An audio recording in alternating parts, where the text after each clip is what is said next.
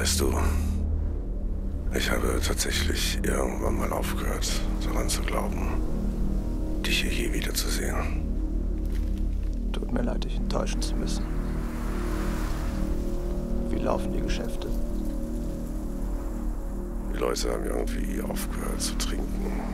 So lächerlich das auch klingen mag. Es könnte natürlich auch daran liegen, dass immer mehr Leute aus dieser Stadt verschwinden. Unwohl fühlen sich alle hier. Die anderen Geschäfte, Red. Es gibt. Es gibt nicht mehr viele, die da rausgehen. Und noch weniger, die zurückkommen. So allmählich verkommt hier alles.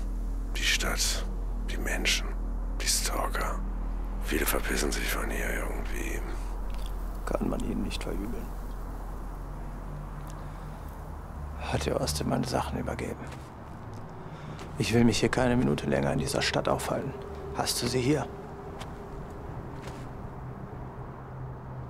Was? Was ist los? Austin ist von seinem letzten Ausflug nicht zurückgekehrt.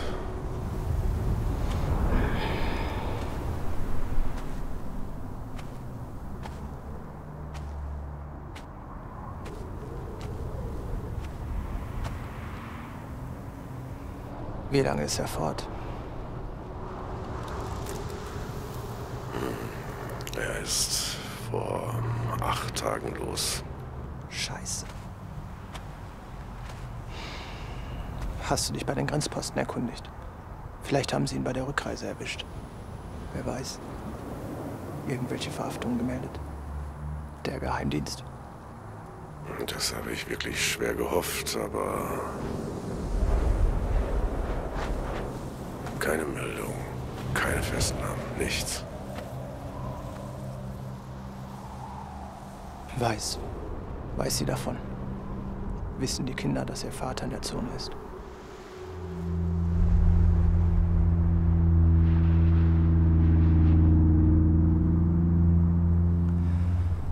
Was wird das dann, Herod? Warum hast du mich gerufen? Um mir Lebewohl zu sagen und mir meine Sachen zu übergeben? Das glaube ich nämlich nicht. Hm. Austin hat von mir einen besonderen Auftrag bekommen. Austin und Ach, hör auf, Red.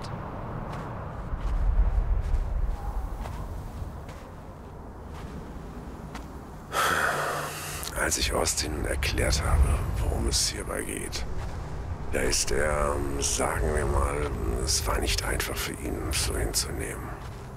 Ich will es nicht hören. Red, ich will es nicht hören. Tut mir leid, aber. Aber Austin. Austin ist tot. Sehr wahrscheinlich. Sehr wahrscheinlich tot. Ich werde seinen Jungs noch einen kurzen Besuch abstatten. Und dann bin ich fort von hier. Leb wohl, Red.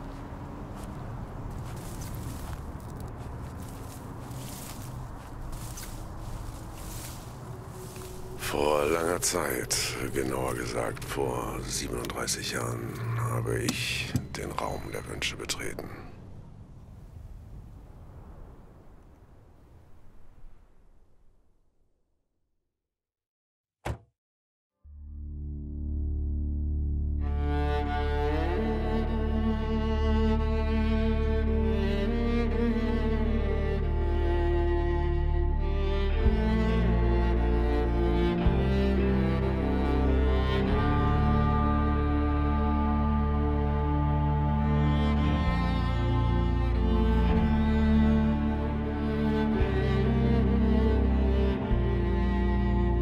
Hoffen sich dort eine Erlösung für ihre Qualen und ihr Unglück zu finden. Einige werden ihr fündig. Einige verunglücken auf Ewigkeiten. Die Zone wird den Stalker mit dem Tode bestrafen, würde er versuchen, den Raum zu betreten. Nun, das war gelogen. Auch ein Stalker ist in der Lage, ihn zu betreten. Natürlich gelingt es nicht jedem, aber aber es ist möglich. Es ist möglich. Manche Wünsche dürfen niemals in Erfüllung gehen. Verstehst du, was ich meine? Manche Wünsche dürfen niemals in Erfüllung gehen. Das Fass ist schon voll. Und es reicht nur ein einziger Wunsch, um das Ganze zum Überlaufen zu bringen. Du musst das verhindern. Jeder ist in der Lage, den Raum der Wünsche zu betreten. Ich weiß nicht, was mit Austin geschehen ist. Ich glaube nicht, dass er noch am Leben ist. Es ist unüblich, aber du wirst ja nicht alleine rausgehen, diesmal. Da wir nicht wirklich eine Auswahl haben, habe ich zwei Männer von Barbridge nach Harmond zukommen lassen.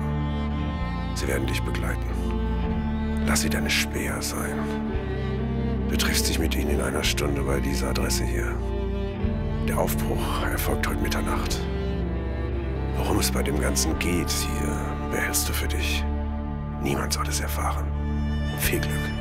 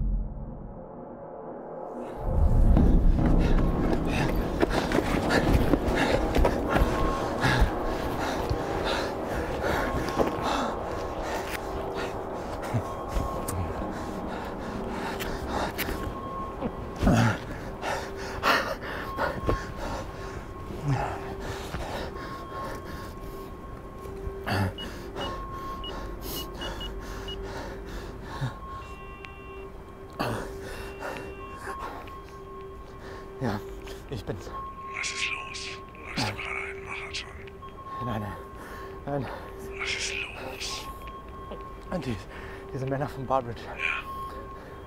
Das, das waren keine Stalker. Wie meinst du das? Das war Geheimdienst. Spitze, keine Ahnung. Was ist passiert? Die haben sich verraten.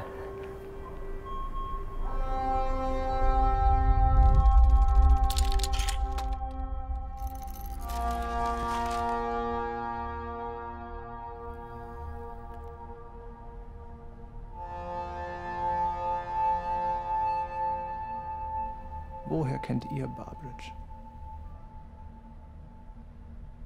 Weil wir Barbridge kennen? Jeder kennt Barbridge. Nur kennt Barbridge nicht jeden. Was hat euch denn zusammengebracht? Er hat uns einst beauftragt, einige Artefakte für ihn ausfindig zu machen. In Harmond, in, in Harmond äh, sind wir ziemlich arm dran mit Stalkern.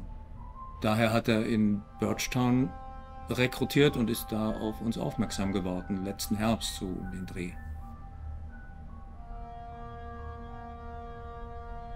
Wir gehen beim Institut rein. Das Institut soll es sein. Das Institut. Schon mal bis zur Unterführung vorgedrungen? Ähm, bis zu den Kraftwerken, ja. Zu den Kraftwerken. Habt ihr neue Anomalien entdecken können? Bis auf die Schornsteine, die qualmen, nein. Ah, sie haben tatsächlich gequalmt. Ja, Mhm. je mehr wir über die Zone erfahren, umso weniger wissen wir. Allerdings. Also, das Institut soll es sein. Ist euch jemand gefolgt? Auf dem Weg hierhin? Nicht, dass ich wüsste. Aber werden wir nicht ständig alle verfolgt? Wurdest du verfolgt? Wer weiß das schon? Die brauchen ja nicht mal mehr einen Grund, um einen festzunehmen. Weißt du, ich war vor kurzem. Ich glaube sogar, es war letztes Wochenende mit mit Barbridge. Wir überquerten gerade die Harmonter Brücke und da waren diese diese Typen. Die sind uns gefolgt. Unauffällig, wie sie dachten. Der Geheimdienst natürlich. Naja, ich meine, wir kennen ja diese Spielchen, ne? Nur, dass ich mir jetzt eine Verhaftung mit Schmuggelware nicht erlauben konnte. Also sind der alte Mann und ich im Vollsprint die Treppe an der Hammonter Brücke runter. Die Typen uns direkt hinterher. Wir schaffen es gerade noch so auf die Gleise, springen auf den vorbeifahrenden Zug und ab. Seitdem hat der alte Mann gut mitgehalten. Hut ab. Mhm. Barbisch ist querschnittsgelähmt.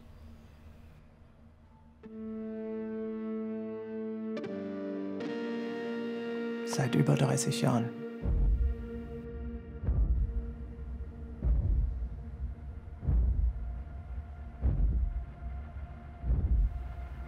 Barbridge hat euch nicht geschickt.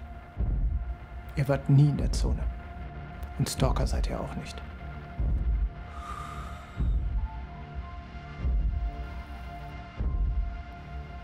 Hat der Geheimdienst nichts Besseres zu bieten? Was ist mit dem alten Mann? Hat er sich wieder beim Saufen verplappert? Wie dem auch sei. Ich werde jetzt aufstehen und die Bar verlassen. Oder haben die Herrschaften ein Problem damit? Wir haben den Verdacht, dass du heute Abend in die Zone rüber machen willst. Und du weißt es ganz genau, wir brauchen keinen Verdacht. Wir brauchen nicht mal einen Grund, dich einzusperren. Nicht mal einen Grund. Und dann kommt die Zelle. Aber das ist noch nicht alles. Da wäre noch eine schwerwiegende Sache. Dubois Engels?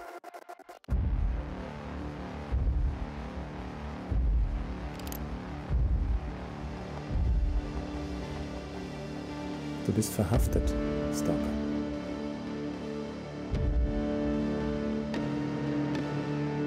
Traust du dir das wirklich zu? Du weißt, du müsstest deinem Opfer dabei in die Augen schauen. Traust du dir das zu?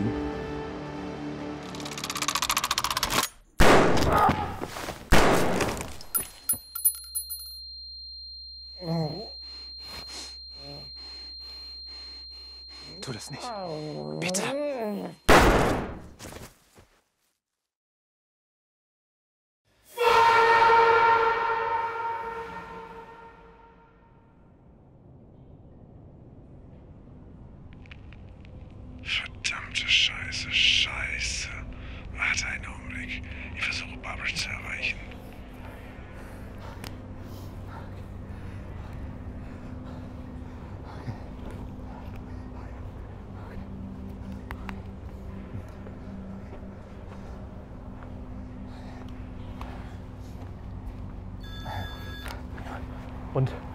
Ich kriege ihn nicht erreicht. Vermutlich haben sie den alten Mann hochgenommen. Fuck. Habe Männer vom Geheimdienst erschossen. Pass auf. Die werden mich jagen. Höchstwahrscheinlich tun sie das bereits. Du musst sofort raus aus der Stadt. Fuck, scheiße, Mann. Hör mir zu. Du steckst tief in der Scheiße, aber ich werde versuchen, dafür eine Lösung zu finden. Du musst erstmal untertauchen. Ich werde es hier aus der Stadt schaffen, das weißt du.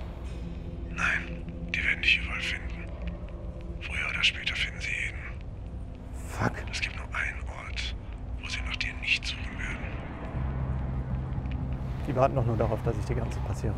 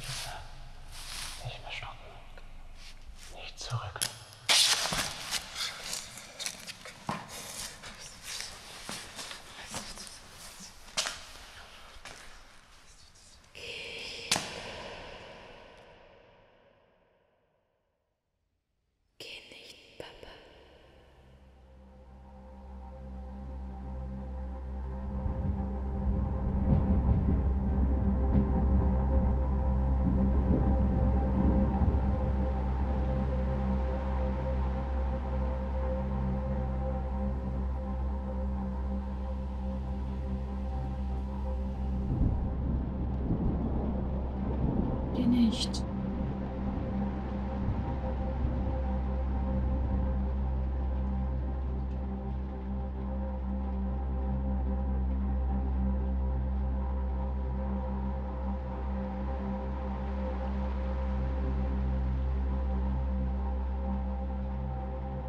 Nur noch dieses eine Mal. Wir haben doch schon darüber gesprochen. Das hast du bei den letzten drei Malen auch so gesagt.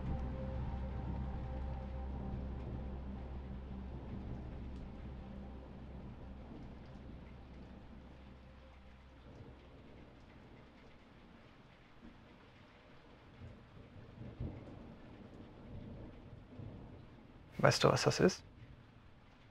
Damit macht man doch Sachen fest. Genau. Das ist eine Mutter. Komischer Name für so ein Ding. In der Tat. Und warum zeigst du mir das? Dieses kleine Ding spielt eine sehr große Rolle bei meiner Arbeit. Aber du bist doch kein Handwerker. Oder arbeitest du nicht mehr in der Disco bei Uncle Red?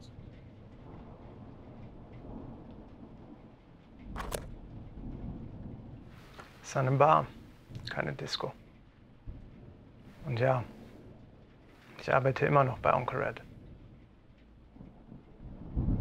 Aber wie du weißt, muss dein Papa auch andere Arbeit für Onkel Red erledigen.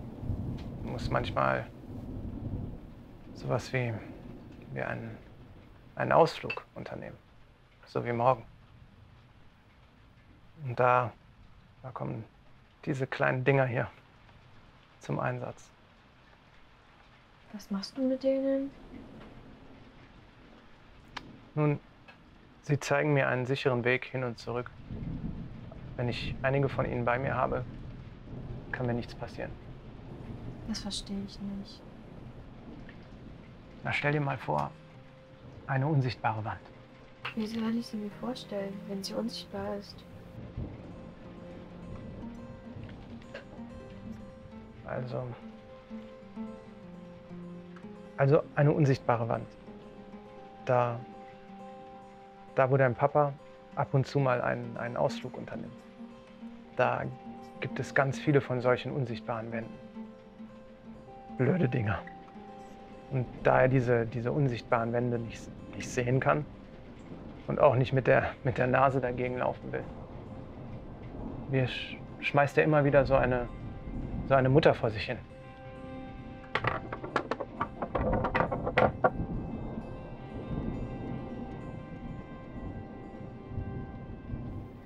Und was passiert dann?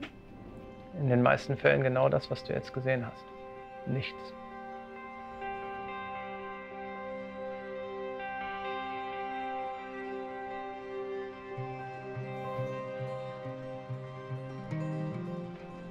Aber manchmal, äußerst selten, fliegen sie gegen eine solche unsichtbare Wand.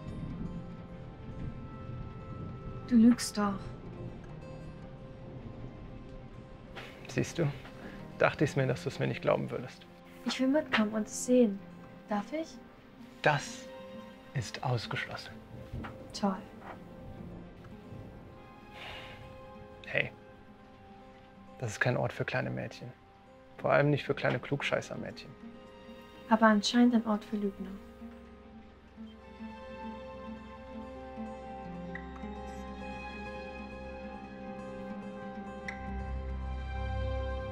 Es tut mir leid. Ich, ich, ich werde morgen Mittag zu Onkel Red gehen und sagen, dass ich keine Ausflüge mehr machen werde. Das war's. Keine Ausflüge mehr. Zum Abendessen bin ich wieder zurück. Mit deiner Pizza. Hm?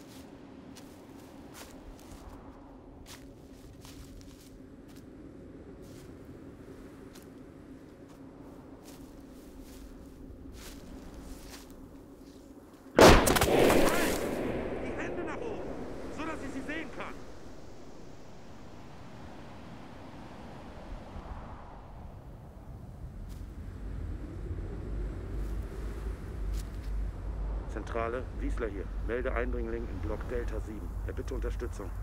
Zentrale, empfange Ihre Koordinaten. Stellung halten, kommen. Verstanden. Die Hände bleiben schön oben, da wo ich sie sehen kann.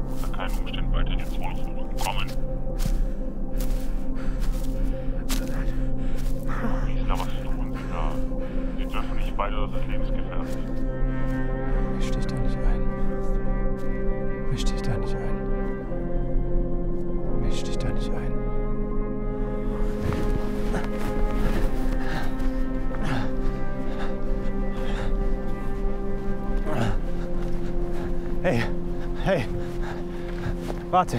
Stopp. Stopp. Da ist niemand. Da ist niemand. Du kannst da nicht hingehen. Hey, komm schon. Komm schon, Junge. Komm schon. Kann mich